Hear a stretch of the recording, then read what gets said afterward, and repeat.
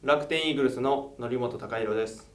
新型コロナウイルス感染再拡大防止のため飲食店を利用する際は感染対策がしっかりとしたお店を選び大人数や長時間の滞在は控えましょう。皆さんご協力よろしくお願いします。宮城県では感染対策を強化している飲食店を認証する制度を実施しています。ぜひお店選びの参考にしてください。